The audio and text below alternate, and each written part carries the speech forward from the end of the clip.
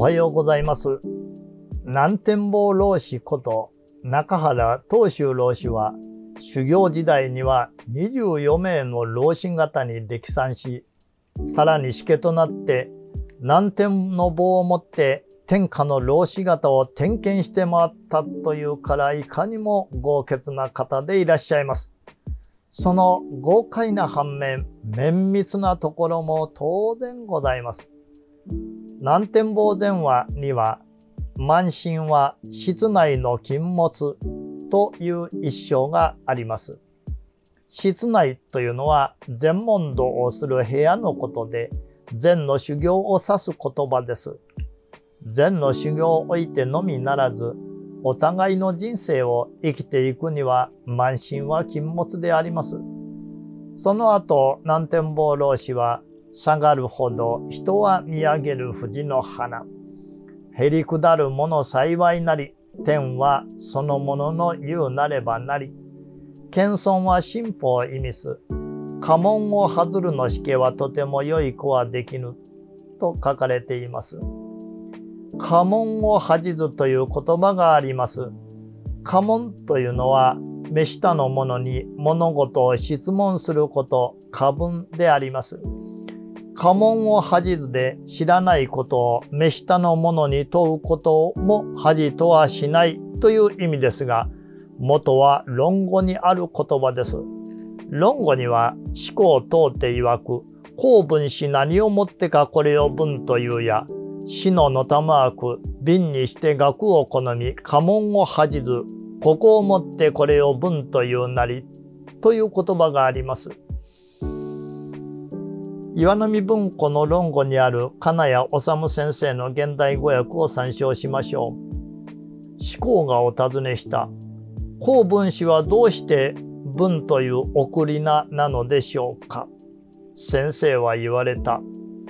理髪な上に学問好きで、目下のものに問うことも恥じなかった。だから文というのだよ。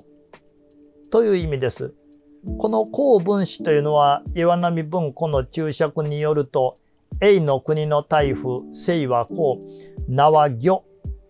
文史は死後の送り名であります。後輩であろうと若い者であろうと謙虚に聞くことは大切であります。恥を捨て、人に物といなろうべし、これぞ上手の元いなりける、とは利休道家にある和歌であります。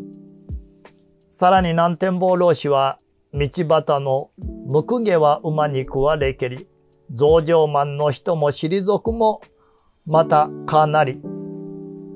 三条なお山あり、潜入主となるで、うぬぼれやかけのないものはないというではないか。意外のことがあるものじゃから、両党の豚と思うても馬鹿にしてはならぬぞと書かれています。道端のむくげは馬に食われけりは芭蕉の有名な句です。ここでは出る杭は打たれるという意味合いに用いられていると思われます。増上マの人退くもまたかなりは法華経にある言葉です。お釈迦様が法華経を説こうとしたとき、5000人の増上マの人たちが聞こうとせずに立って去ったことを言います。増上マはもともと仏教語で、まだ悟りを得ないのに得たと思って高ぶることです。そこから実力が伴わないのに自慢することを言います。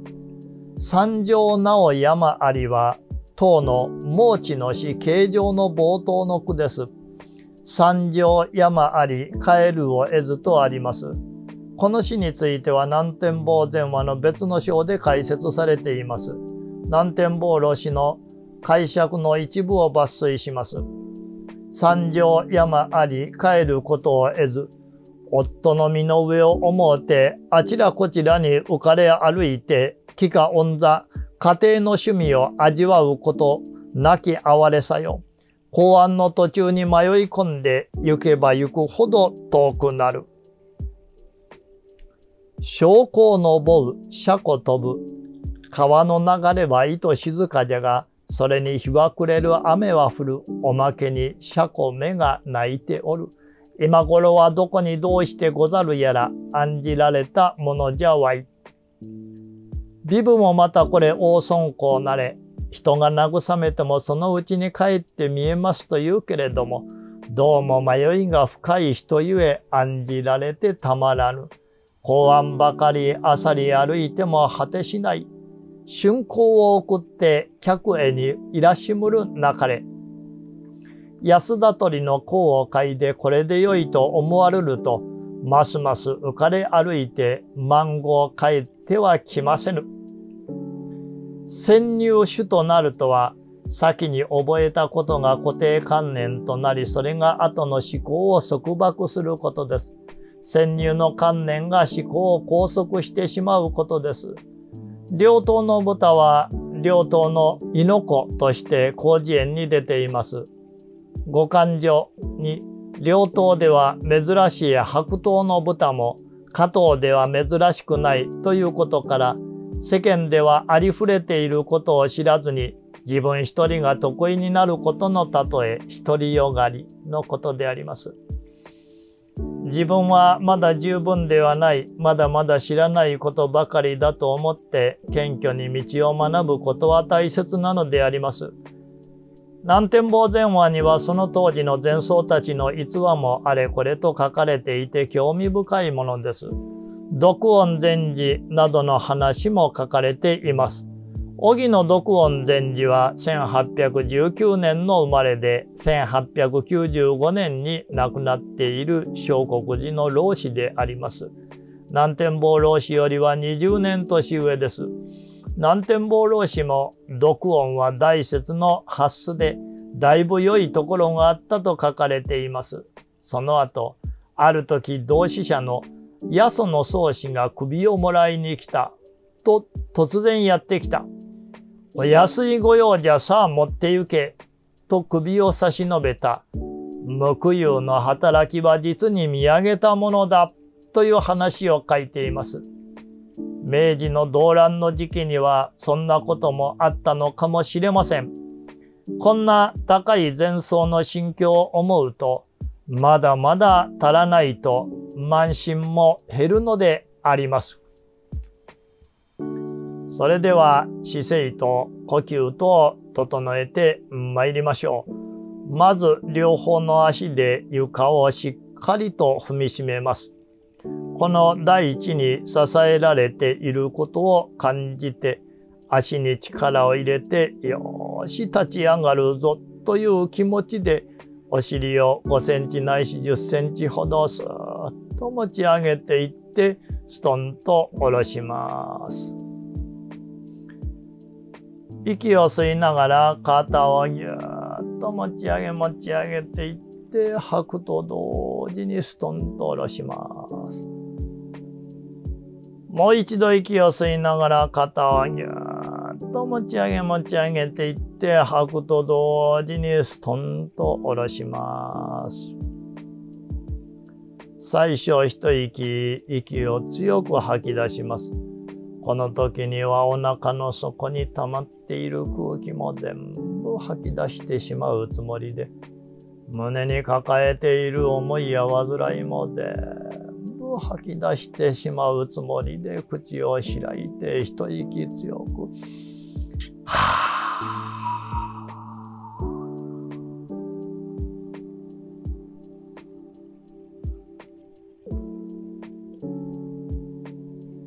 と吐き出して口を閉じますと、鼻から新鮮な空気がいっぱい入ってまいります。おへその下下腹いっぱいに新しい空気が満ちて、さらに体の隅々まで新しい空気が行き渡っていくのを感じながら、ああ、ありがたいな、嬉しいな、とこの思わず微笑みがこぼれてまいります。そんな気持ちでその後は口を閉じてただ鼻から息が出たり入ったりする様子を静かに見つめて座りましょう。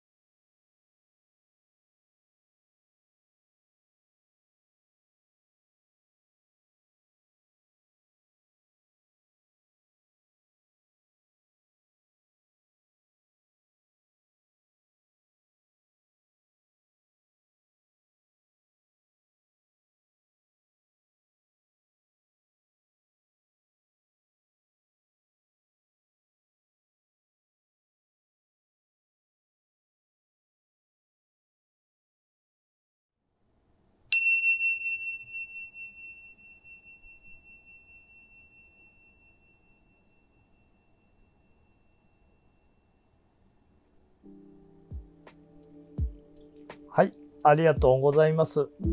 どうぞ今日も良い一日でありますようにお祈りしております。